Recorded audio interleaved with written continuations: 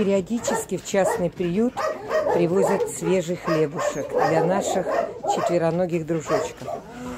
А в зимний период мы хлеб этот сушили а, и давали в виде сухариков, которые наши а, собачки с удовольствием поедали. Но в летний период, когда очень много мух, мы не делали этого. Поэтому сейчас, сейчас мои ребятки будут полдничать.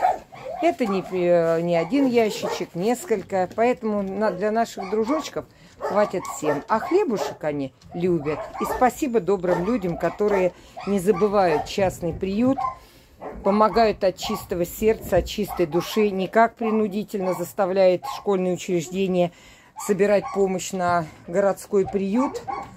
А, в том числе просят и денежные средства. Для чего? Непонятно. Приют-то финансируется, но, видимо, что-то там идет не так, нехватка Нехватка чего? Наверное, денег не хватает фондовкам. Скорее всего, так. От хлеба, кстати, они отказались.